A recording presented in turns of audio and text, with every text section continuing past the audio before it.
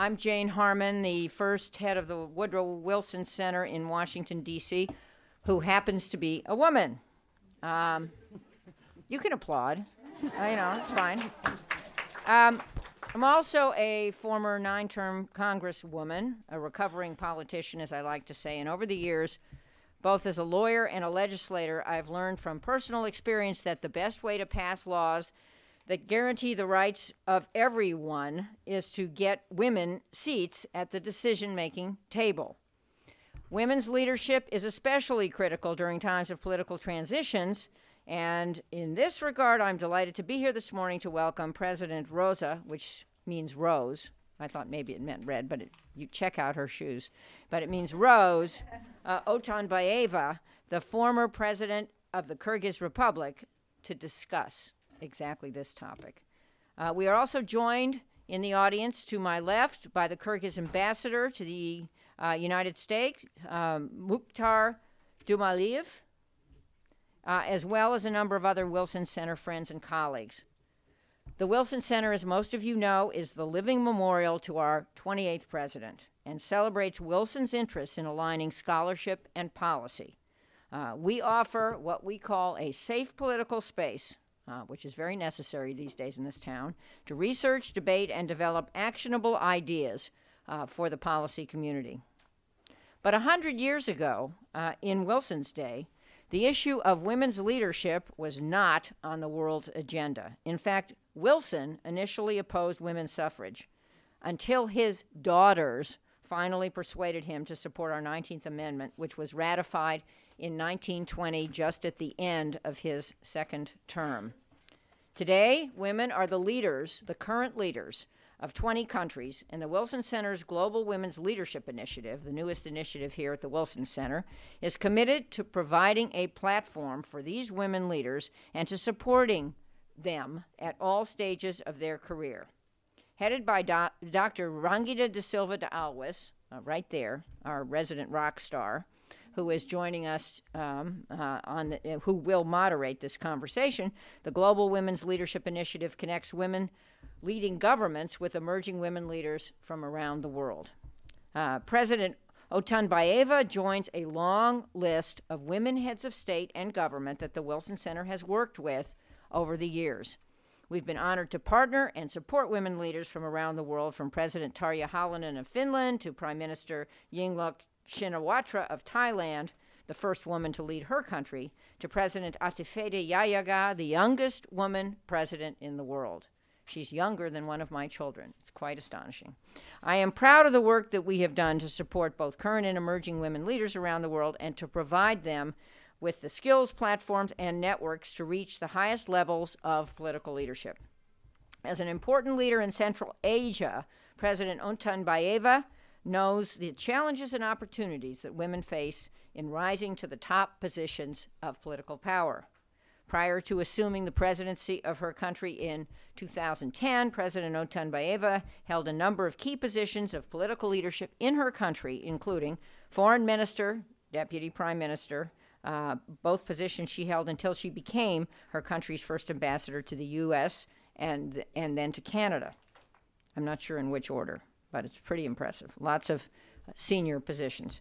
President Otunbayeva was one of the key leaders of the Tulip Revolution in Kyrgyzstan in 2005 and then was tapped as interim president after the 2010 revolution. She held the country together through an extended period of ethnic and political tensions and led the constitutional referendum that transformed Kyrgyzstan into Central Asia's first parliamentary republic.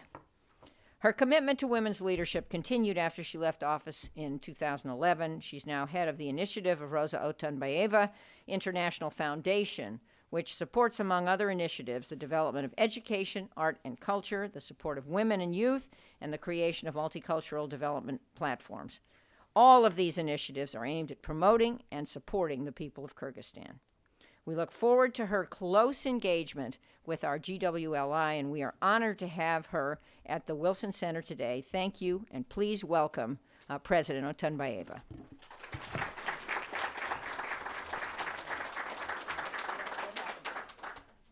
Hmm? I don't know. Are you going to? No, no, no. Oh, you're going to speak, and you're welcome to speak at the podium or. No, no, thank you. Yes. What a pleasure to welcome you.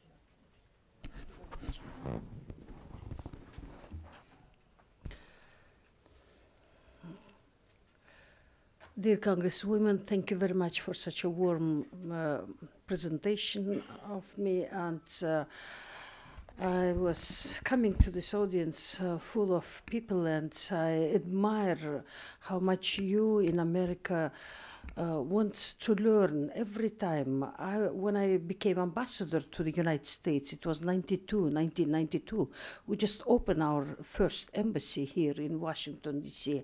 That was exciting time right after the collapse of the USSR. And all Americans want to know what uh, these countries are about, new countries. And uh, wherever I go, of, uh, I traveled uh, 15 states of the United States uh, in two years and uh, via this World uh, Affairs Council's uh, um, network. And uh, usually of in Alaska or in Hawaii or in other states, everywhere people gather together and they want to see you how Kyrgyz look and what they are about and uh, what they want and so on. And uh, I really uh, keep admire this because I'm trying now as a head of my foundation to put that sort of uh, work in Kyrgyzstan back uh, to my country, that uh, people gather for special topics together. Kyrgyzstan is Asian country, and unfortunately, we do not know much about Asia, about the surrounding countries, and. Uh, per month, uh, every, every, month, uh, we um, gather people together, business people, officials, and um, I'm trying to introduce this sort of Western form. They would come for the lunch or for dinner, pay by the entrance our parliamentarians are shocked that why they should pay.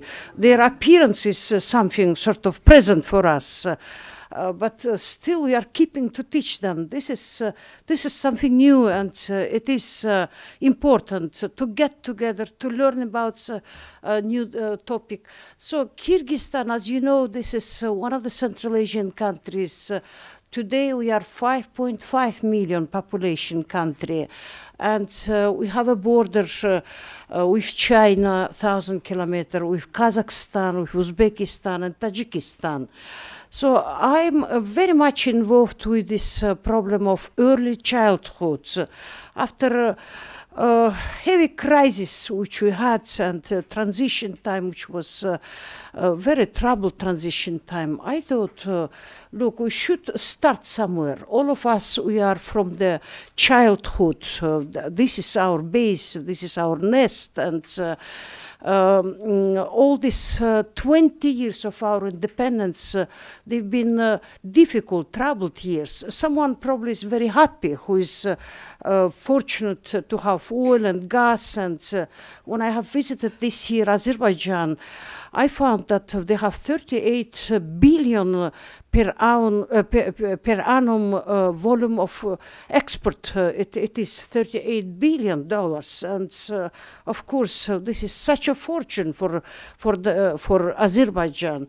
I went to Turkmenistan, and of course in 20 years they built a totally new city, Ashgabat, and Turkmenistan was the last in caravan in the former Soviet Union, and today they really show up that uh, so uh, this is uh, something what they can accomplish. Uh, construction city in white um, marmor. It, it is uh, impressive for us because my country.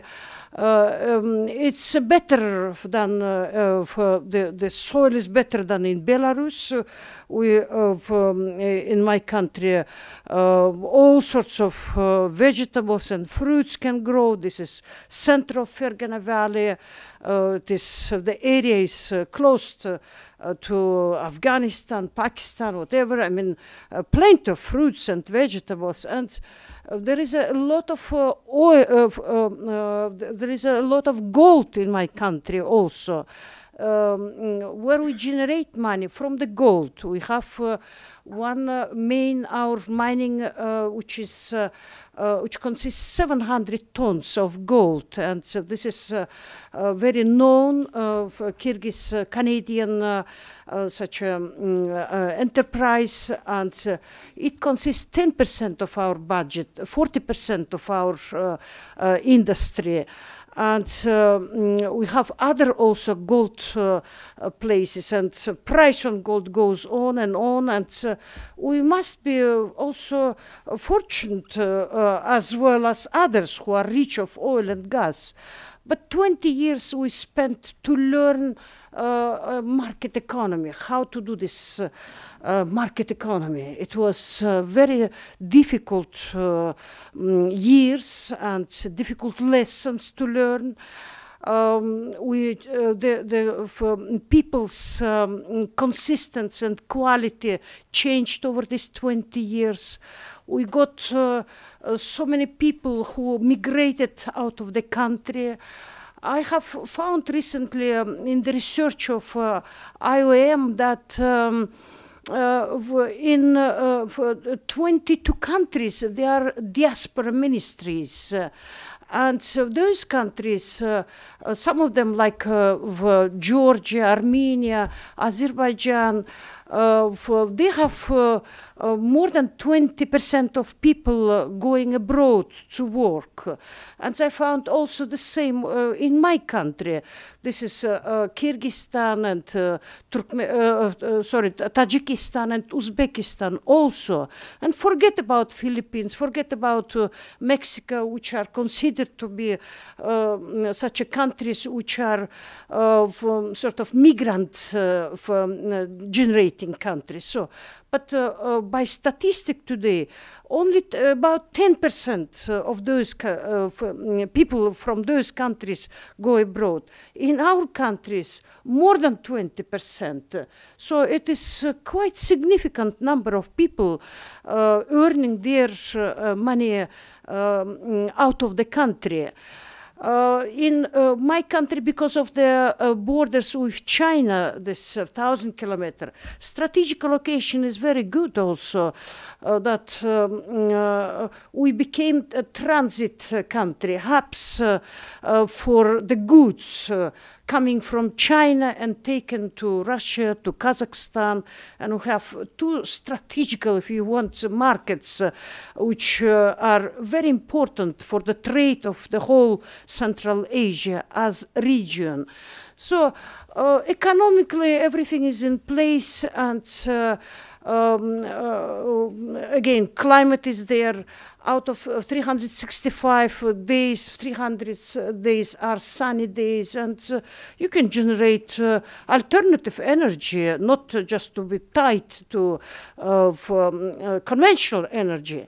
Um, but uh, we need a lot of uh, investment to human resources. People should be uh, trained, uh, sh- should be educated, and uh, human resources. This is the most difficult for every developing country.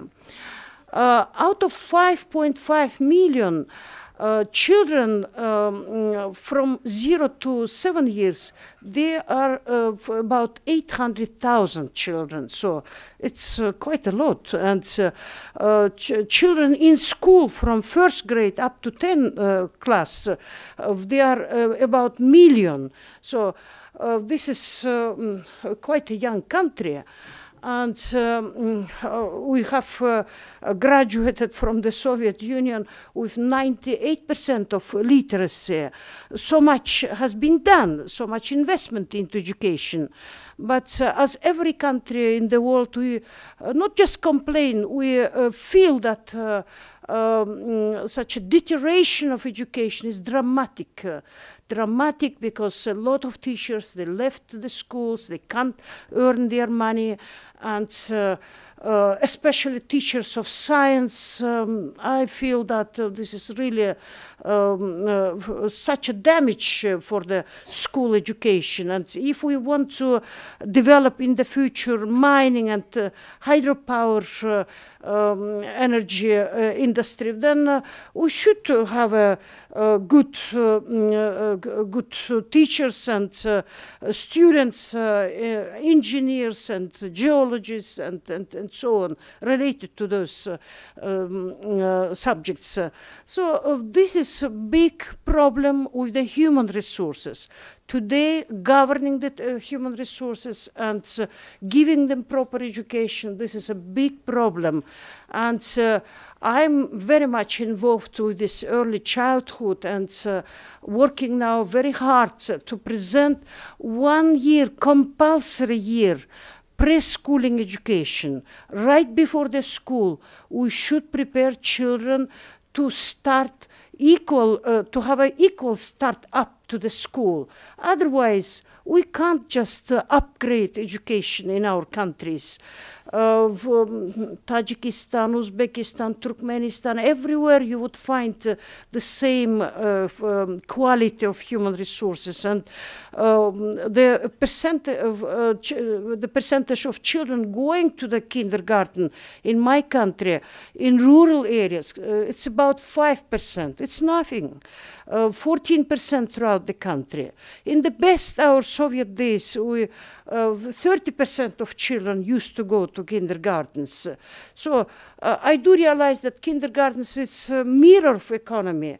If you don't have economy, why you, you need uh, kindergartens? Uh, because uh, moms are at home, they are jobless, they should uh, take care of the children. So this is uh, mm, this is realistic, but at the same time uh, in my country, when you have migrants, so many migrants, when you have so many jobless people, uh, depressed in some way because joblessness, then uh, this is, uh, of course, a big problem to give uh, um, touch to, uh, to, these children, to prepare them to the school. And this, uh, we found that uh, this compulsory year, uh, year uh, in front of the school, this is uh, something, it's solution for developing countries. And we want to start in my country that the whole region also will be involved into such action.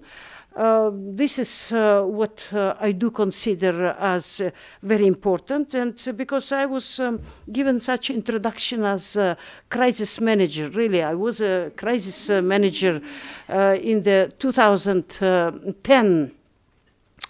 I, uh, uh, before the 2010, I was uh, leader of opposition in our parliament, uh, heading a social uh, of a democratic uh, faction in the parliament. Uh, we've been 11, uh, it's over to 79 of, uh, uh, 72, sorry, 72 of uh, uh, the uh, sort of such a party which was uh, very much like in our part of the world, dominating party in the parliament. So they would uh, get instruction from the White House and vote as uh, necessary to vote, and so that's it. And uh, business is done. And for nine of us, we are struggling. Uh, for um, uh, demanding uh, for because radio of the parliament it is white mm, such a uh, white herd in the whole country. Then uh, my voice was uh, uh, reaching all corners uh, and uh, whatever we said in the parliament uh, it was uh, heard uh, in uh, from all remote uh, corner, uh, corners. Uh, we've been not shown on TV as opposition never and uh, that was a very hard time and uh, uh, Bakiyev's uh, family, Bakiyev's clan, uh, uh, after the revolution 2005, we thought that uh, we'll uh, at last uh, go to democracy, but it was not a case. Uh, this family thought uh, uh, to enrich themselves in five years more than uh, uh, what Akayev's family was enriching it, uh, themselves in 14 years. And the son, bec- uh, f- it's happened to be a very able man, young man, and so he has invited a group of consultants from um, big capitals of the world and uh, started uh, to privatize what left uh, uh, in uh, in the country. And as you know, of uh, with the former Soviet uh, uh, countries, what uh, it took for you 200 years uh, for privatization, it happens in our countries in 20 years. What belonged to the whole nation in 20 years, uh, it, be, uh, it started to belong to 5 10%, and all others uh, have been impoverished uh, uh, totally. That was uh, very, uh, that's why uh, mm, we do believe that the uh, poverty, the social economic situation looks very grim, especially in our countries. So uh, Bakiev's family wants very much uh, to get uh, um, as much as possible to, of profit. And so they brought such a law that in the case that uh, President Bakiev can't rule the country, then the third uh, person, uh, you can read this is his son, he will step in. And it was end of our uh, passions. And uh, we were um, struggling, we are calling people to oppose to such a violence of the law. And all the opposition has united under the um, idea of parliamentary democracy, introducing parliamentary democracy to Kyrgyzstan. April 7, 2010, uh, uh, that was uh, the day when mm, we wanted to conduct such a uh, the day of uh, protests throughout the country. But when people came to the White House, um, uh, 6th of April, the, leaders of the opposition been arrested, all of them. People came to the mm, square in front of the White House and they've been met with the shots uh, from the windows of the White House and uh, very strange. Uh, uh, 87 people died in front of the White House and um, uh, that was uh, uh, it didn't get such attention like later on in Tunisia in other countries in Arab mm, from, in, in Arab region but uh, Mr. Putin uh, pointed out that Arab Spring has started from Kyrgyzstan so this is uh, his mm, remark and we um, lost we paid very high price for this change and uh, um, the government of um, Bakiev uh, um, uh, capitulated uh, um, I would uh, use this word. Uh, we came, uh, we entered into the White House and have demanded from the Prime Minister, his Prime Minister, to write a letter of resignation and just just to go, to leave the the, the White House.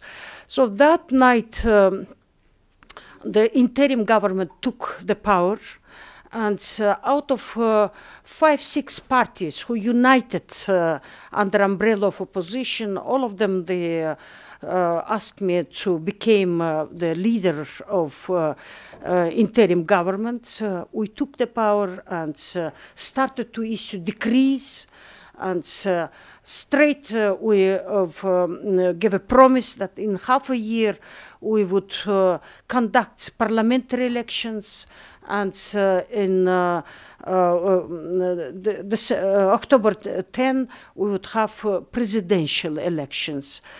Uh, looking back, uh, and uh, you had also in front of your eyes so many other stories in other countries, especially in Arab countries. Uh, of course, we can tell you that it was very hard, but we've done everything what we have promised. We have conducted uh, in half a year parliamentary elections. and our um, elections been recognized as ever clean, transparent, and the best elections by OSCE, by European Union, by PACE delegations, uh, uh, observation delegations. So we've been very proud that we can do such elections, absolutely free elections, uh, because uh, every time it was not elections, just cheating. And uh, uh, these elections brought us opposition party number one, first. Um, the whole night uh, for uh, the, results uh, coming to the screen, nobody was involved.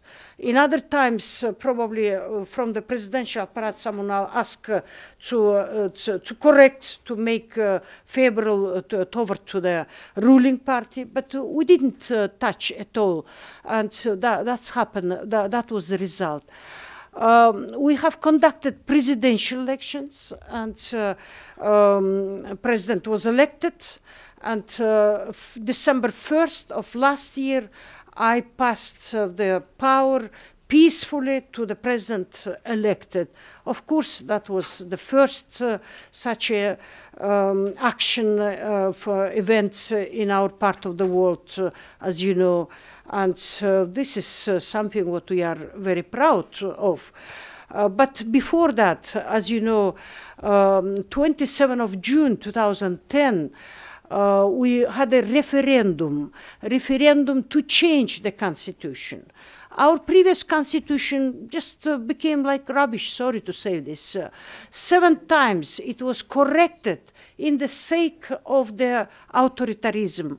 The president, uh, uh, every president, Akayev, Bakiyev, they want to get more power, more power, and uh, the constitution which we have adopted in 1993, it was just we got um, something uh, other constitution. So, in uh, mm, uh, uh, 20, on 27 of June, we have conducted a referendum, and for the first time in our region, we have introduced this parliamentary uh, governance uh, mm, po- political system.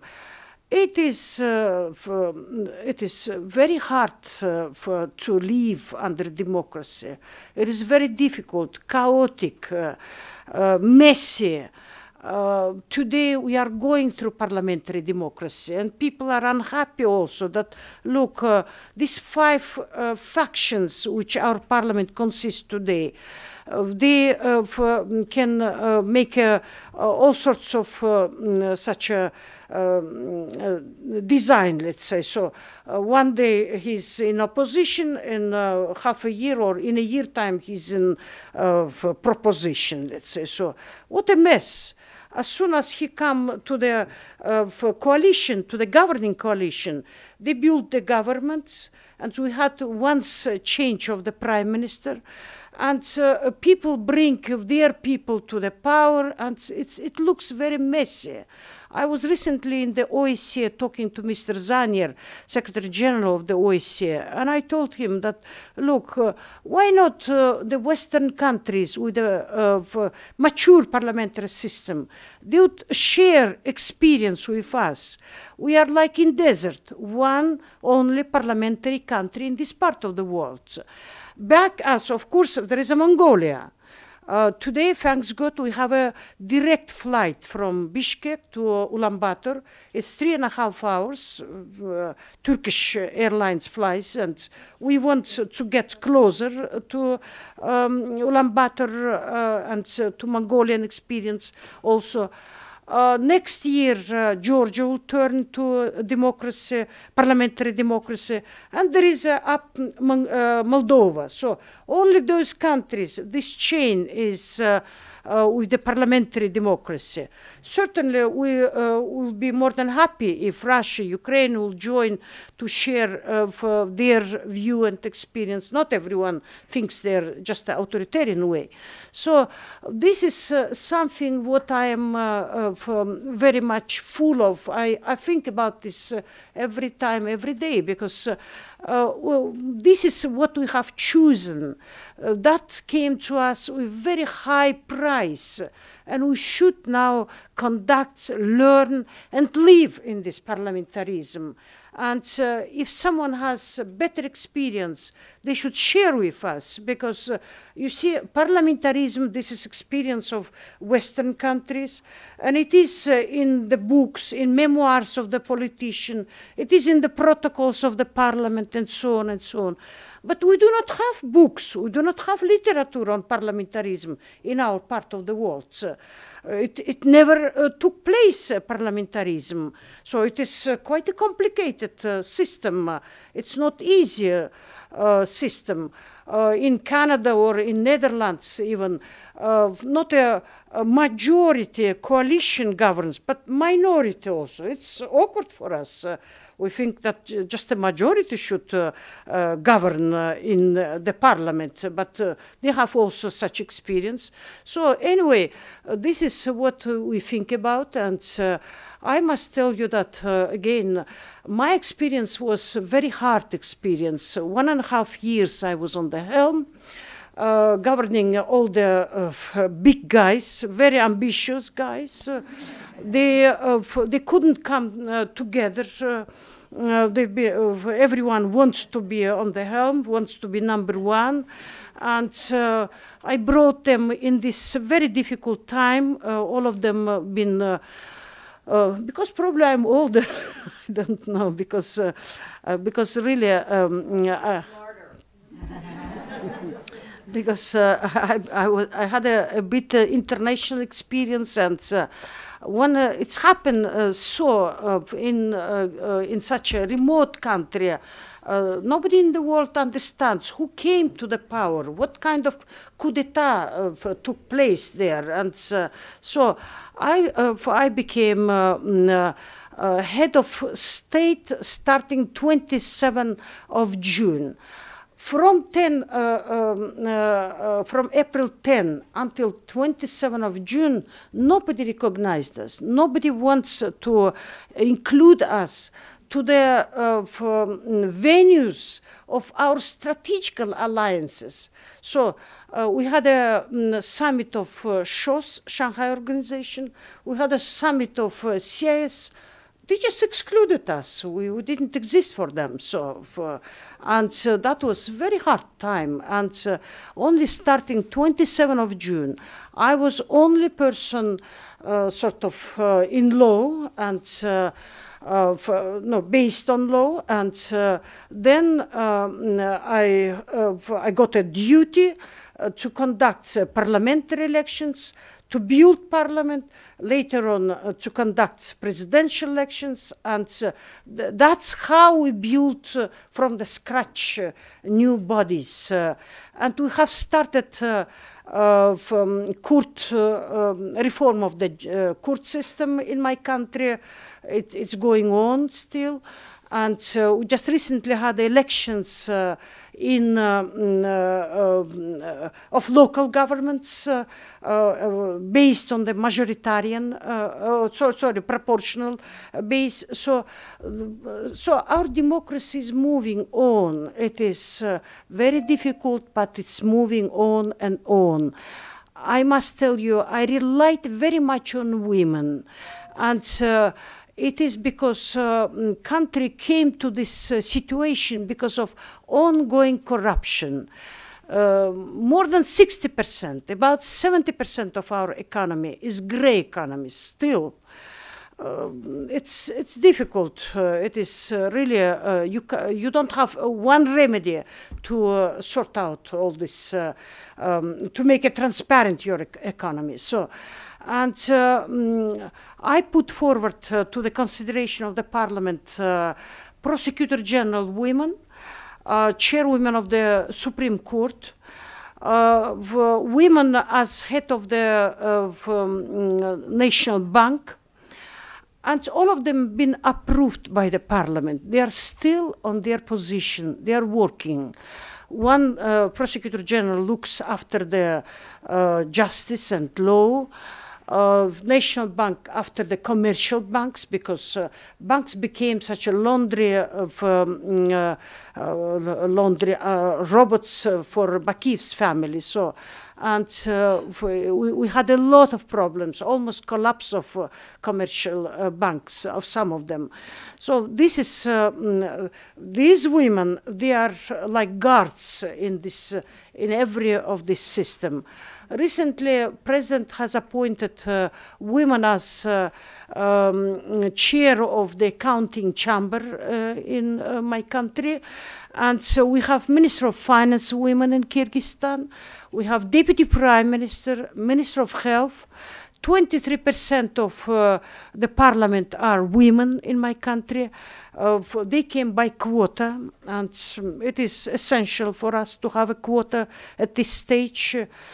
And don't forget, this is uh, Asian country with Asian background, and uh, very close. Our neighbor is Afghanistan, and uh, uh, China uh, with the uh, Xinjiang Uyghur region. So we have totally different background, and it is not easy.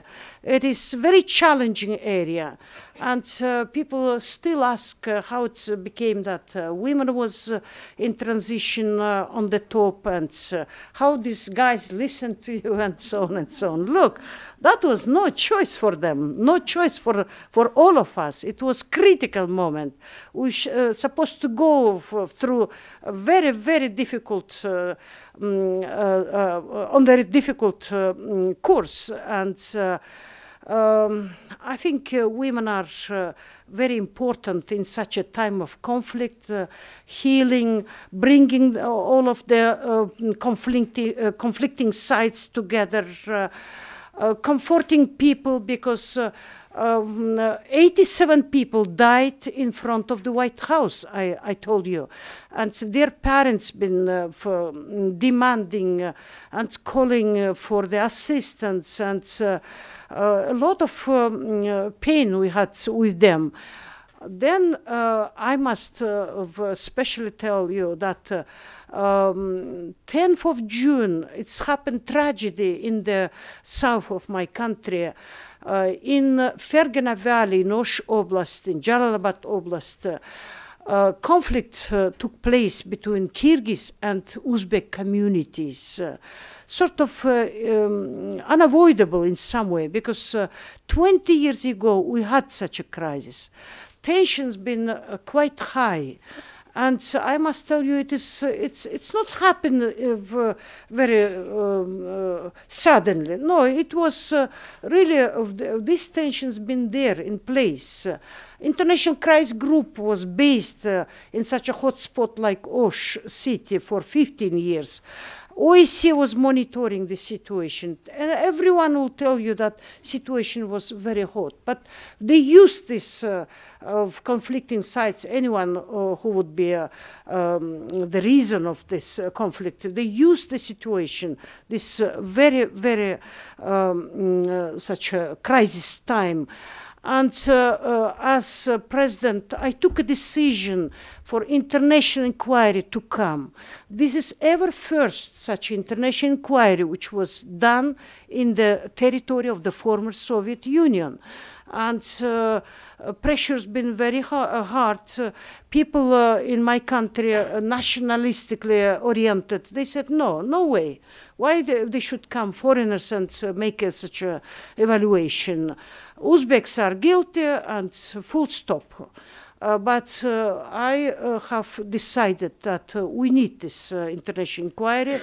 And uh, mm, nine people from, from very, very renowned mm, such experts, they came and they've done this investigation. I took uh, very, uh, sometimes uh, looking back, uh, I do realize that I took uh, quite mm, uh, difficult decisions, but it's not a heroism. Someone should took this decision. That was time that you should take the responsibility. Nobody else will do that.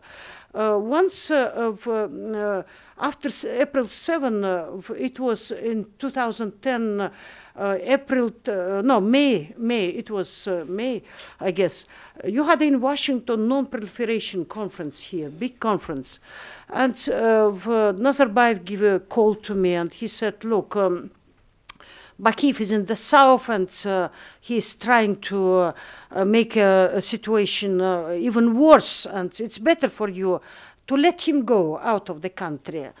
And uh, we have decided, three of us, we, uh, we had a sort of uh, talk between us, Mr. Obama, myself, and Mr. Medvedev, and it's better for you uh, to let him go.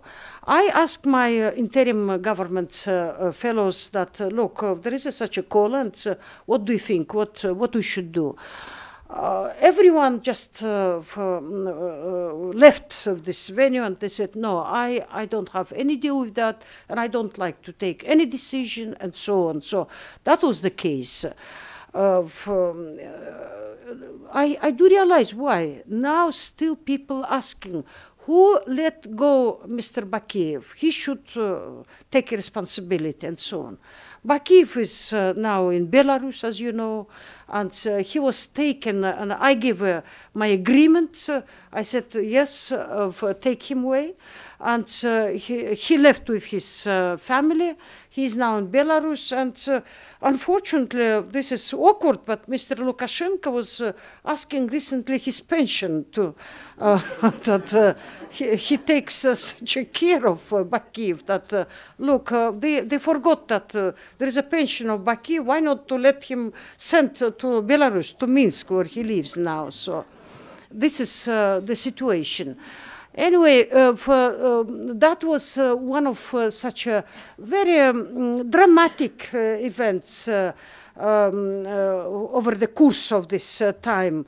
Uh, I, uh, um, uh, I must tell about many other things. On the day of um, 10 of June, when we had a, uh, again dramatic uh, results of these uh, tensions between Kyrgyz and Uzbek uh, uh, population. Uh, more than 400 people died. Uh, we couldn't stop. Three days, uh, people struggling and uh, killing each other. Uh, that was a full tragedy, of course, uh, in the south. And uh, I was calling to Mr. Uh, Karimov and uh, to Mr. Medvedev, uh, Putin, uh, how to sort out the situation, that someone should come and uh, help us and so on. This is uh, probably now history, and uh, I should sit one day and write about this. So, but uh, that uh, those days been critical for Kyrgyzstan. We have overcome this time. We are now uh, from such a fragile, still parliamentary country. Uh, with uh, all the uh, problems of development, but I must tell you, we are free country with the same values like the whole civilized world. Uh, we have uh, a lot of uh, NGOs in my country, women lead NGOs. We have freedom of speech. And uh, Freedom House put us uh, down, down. I don't know what is then free, uh, freedom of speech. I don't understand because in my country there is a, such a freedom of uh, speech, and uh, as uh, who knows Kyrgyzstan, uh, you can imagine how to compare them to in other countries in Central Asia. So this is uh, uh, what we are very proud of. We have um, uh, young generation. Uh, they uh, they are very brave, committed to democracy. In Bishkek, uh, we have American Central Asian University, where a lot of students from Turkmenistan, Tajikistan, Afghanistan come to study. We want to have more of them. We have Academy of the OSCE uh, for master's degree. A lot of people from around the world they come to do their master's degree also uh, to learn about Central Asia. Uh, so uh, I think uh, from we are doing uh, of um, as we are doing of this is uh, not an easy stage of our development uh, but i'm sure that we are on the right track. I think i must stop and if uh, any question thank you.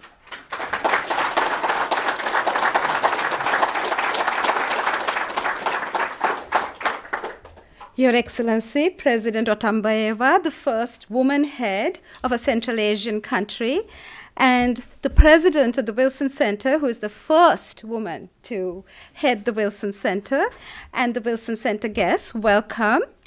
As transformations sweep the Middle East and North African region, President Otunbayeva, you have offered words of wisdom that can guide this region to a peaceful transition that you guided your country to.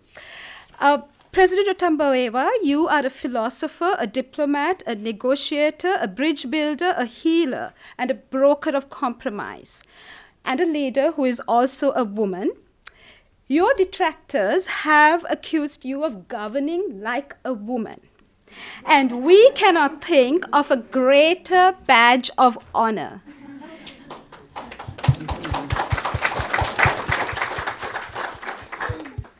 As Central Asia's first and only woman leader in the region, you're very consciously a woman leader. And you have said that you want your leadership to have a positive impetus for thousands and thousands of women to be in the forefront of all of their nations. Those are your words. You have also said that all people have the inalienable right to freedom. And on that note, I want to remind you of some of your words because those words that you have shared with your peers in the Middle East and North African region resonate throughout and are very critical to the changes sweeping the North African and Middle Eastern region. You have said nothing can be more important and more moving than humans celebrating their freedom. There are many skeptics and cynics, you said, who warn against popular revolutions, citing the violence and instability that they unleash and the unpredictable consequences. And to those critics, you responded very clearly we are humans, we are irrational, but that is simply part of our nature. But you have said, having paid such a high price, we cannot squander the historic opportunity we have to right past wrongs and to build a better state and a more just society. And our experience tells us that there is no highway to democracy. In fact, you have said that democracy is the only way. So I would like to open the floor for questions by asking you to share with you some advice on how women cannot squander this opportunity, this golden opportunity that they have in the Middle East and North African regions in advancing women's leadership in not just in Kyrgyzstan, as you so ably showed, that women, as the first woman in the history of our world, has seen through her country through a peaceful transition that women in the Middle East and North African region can also seize that mantle of change, seize that mantle of leadership. So, what are your words of advice to your peers, your sisters in that part of the world? Here, yeah? Yeah? Can I respond here? No, very difficult question. Uh, by the way, uh, from, uh, regardless what Mr. Putin said uh, about uh, the opening of uh, Arab Spring uh, era in uh, of, uh, that part of the world, I do believe that every country has own specific and own problems and. Um, in my country, women been uh, in front of the line of struggle, and uh, that's what we do see also in uh, Arab countries. Um, women been very active um, in to promote democracy. most of the women NGOs are led by women. Uh, a lot of new, uh, uh, a lot of press is led by women in my country and um, uh, women encourage very much uh, men and uh, I think um, uh, I never forget a remark of one uh, woman from uh, Africa. it's one women conference. she said, "Why women are silent when corruptionists of their husbands they bring something." uh, additional plus to home and they are in silence. Uh, so women can do publicly and at home many things to stop uh, um, mm, such a uh, deterioration and uh, um, uh, erosion of the society. And uh, I, I do believe that uh, uh, in Kyrgy- uh, Kyrgyzstan's case uh, might be uh, um, such a um, what a good example for the Arab uh, uh, countries uh, that. Um, uh, first of all, uh, I do believe in education. Education is uh, vital, and I think um, in in all our developing countries we should pay a lot of attention. Women are educators by nature, so, and this will be my advice. Thank you. Thank you, President. You have also said that pluralism is not just an asset, but it's a prerequisite for progress and vital for development. Questions from our guests? Yes, ma'am. Um, Thank you so much, Your Excellency. Uh, I'm Mahnaz Afkhami from Women's Learning Partnership. We're proud to have a very active uh, group in Kyrgyzstan uh, headed. Uh, thank you. Uh, headed by uh, Tolekan Ismailova, uh, working with us. My question is uh, some of the our partners in the MENA region are facing the resurgence of religious ideology in a conservative way, which uh, actually has at the center of its activity reducing the meager rights that women have achieved over the years in these countries. Now, in uh, the case of Kyrgyzstan and Central Asia, having come after Soviet uh, dominance and uh, problems with religious expression. Is there such a problem also there, or, or are you just uh, uh, fighting with regular run of the mill secular patriarchy, or does the religious cultural element have a right in, in it as well? Thank you. Uh, it is complicated question. Uh, you are dealing with uh, uh, the uh, mm, atheists in the past, and uh, let's say in the best I'm agnostic today, and it is for uh, sort of my feeling to growing Islamization is uh, not a positive, uh, and uh, we have, um, as matter of fact, uh, growing uh, Islamization. Uh, and it's not just the traditional uh, Islam, uh, which uh, Sunnite type of Islam, which we practice, but all sorts of uh, Hizb ut-Tahrir, Wahhabism, all of them, they are prohibited in my country, but uh, they are very active uh, also. And uh, uh, we consider that uh, um, Wahhabism, uh, uh, Hizb ut-Tahrir, Ahmadis, they are sections um, under, um, under veto, let's say. So and uh, of, uh, the same with Christianity, quite aggressive uh, influx of Christian religions also. Uh, last of this June 2010, even I uh, I've uh, for, mm, uh, I was told that Scientologists also in in in force. They came with their social package, and I think it's really. Very risky for, uh, uh, for, for our region. But uh, because of Afghanistan, because of Pakistan closeness to us, uh, this uh, religious uh, of, um, group as of Hizb ut-Tahrir uh, and Wahhabism are active. and they are trying to spread around their wings and trying to influence uh, young people and uh, women. And when I'm talking about the kindergartens, I'm struggling to keep all our kids out of this influence because they're also fighting for uh, early childhood. They want to open their kindergartens. Uh, I uh, do conduct, for example, every year such a, a competition on declamation uh, of, uh, of poems. Uh, mostly it is in Russian. Now we want to include English uh, and Kyrgyz also. Uh, but they have declamation of Quran. I'm struggling with them. Uh, for, sorry to say this, but uh, uh, at every corner, at every such a field, uh, we, we have a quite a lot of uh, such uh, activity and uh, um, concurrence.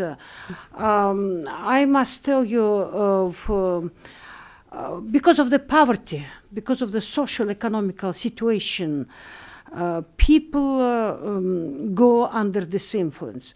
They didn't uh, stop to drink vodka less, as, uh, as, as Islam promised uh, to do. They, they thought that they will uh, embrace more people and they will drink less. No, it is, uh, it is not the case, unfortunately. So, and so with this regard, uh, what is the reason why they should uh, go to under such a negative influence? So, I mean, in our part of the world, I must tell you, probably I'm wrong. I have a wrong head. I, I have really a sort of still atheistic direction in my head. But uh, I don't see any any progress uh, to be under such a um, uh, influence of these uh, religions.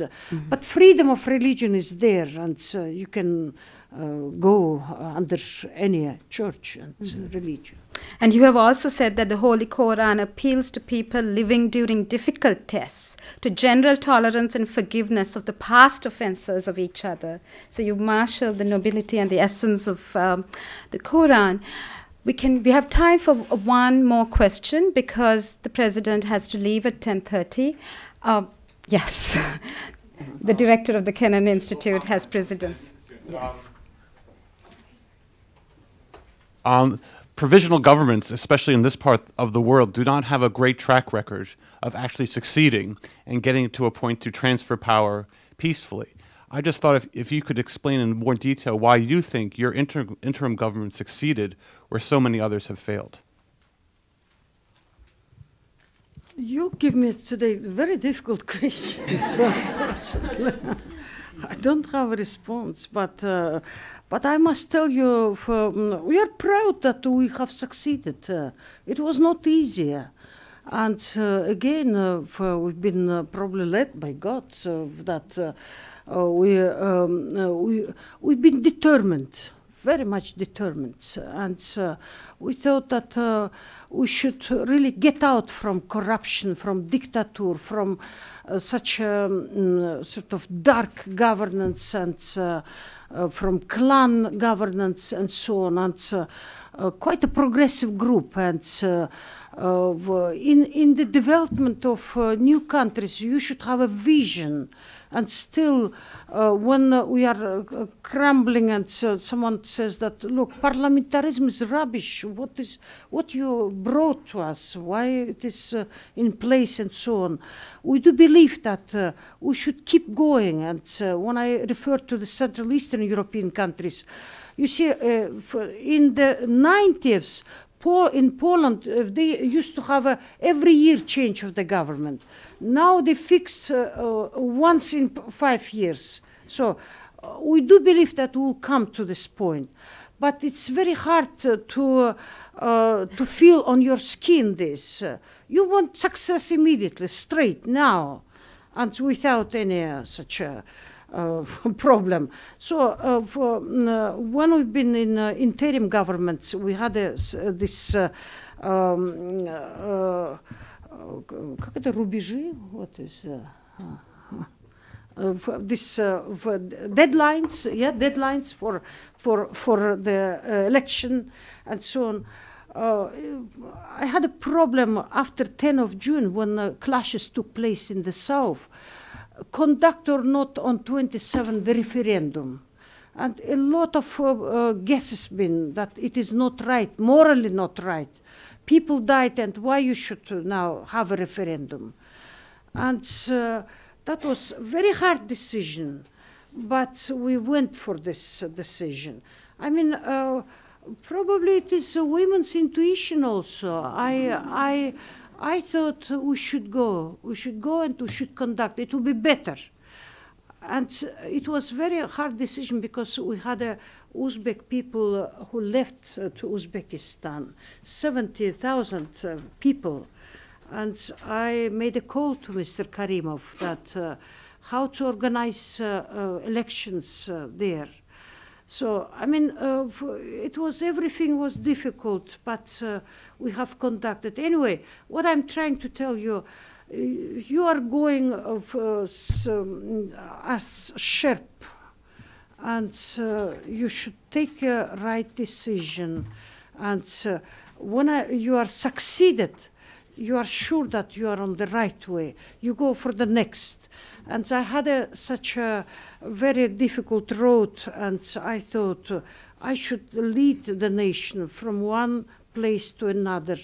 And uh, we've done this, and uh, I passed over the power to the more or less stable country, in, in the more or less stable country. So, I mean, uh, uh, our situation was happy, happy situation. Sorry to say this.